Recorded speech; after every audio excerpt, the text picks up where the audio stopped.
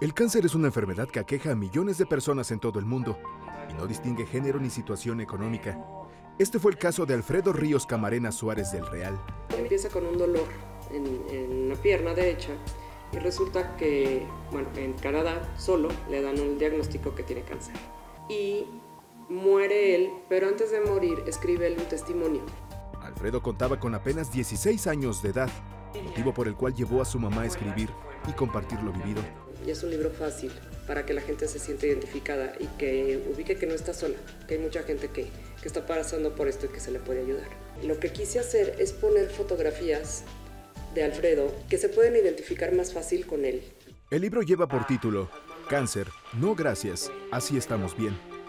Para mayor información visita la página de Facebook Testimonio de Pato o al correo sil.suárez.yahoo.com.mx. Pero ánimo, pero habemos muchas personas que estamos aquí para ayudarles y si es el testimonio y si es lo que necesitaba mi hijo este, pasar para poderlos ayudar, pues bien valió la pena el sacrificio de él y de nosotros como familia. Entonces, sí se puede. Ricardo Soladac, a quien corresponde.